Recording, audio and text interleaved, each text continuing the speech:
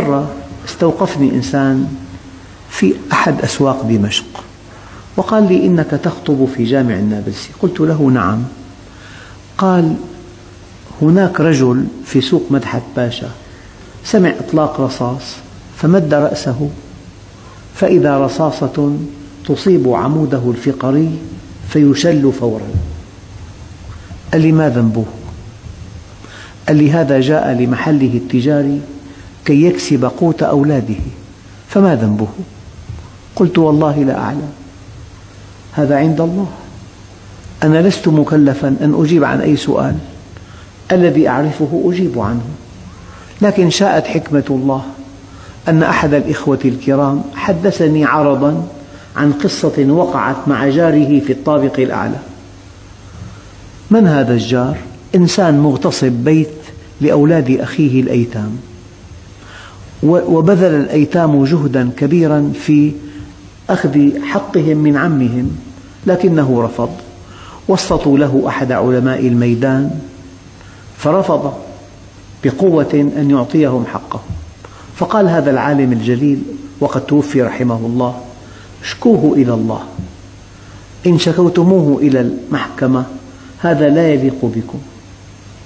هذا الكلام وقع ليلا الساعة التاسعة في صبيحة اليوم الثاني في الساعة التاسعة صباحا.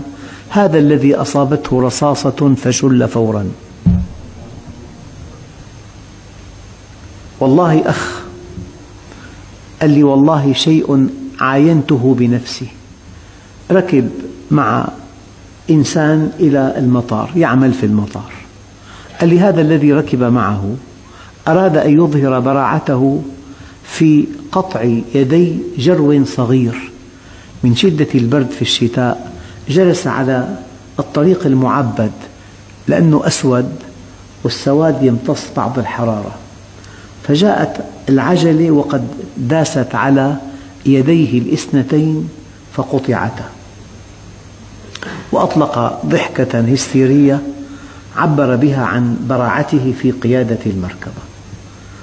أقسم لي هذا الأخ الكريم أنه في السبت القادم في المكان نفسه أصاب العجلة خلل فاضطر أن يغيرها.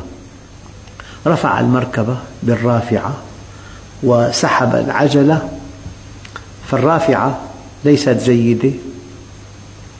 وقعت المركبة على العجلة والعجلة على يديه من رسوغيه فهرستا أخذ إلى المستشفى فكان لا بد من قطع يديه بعد أسبوع.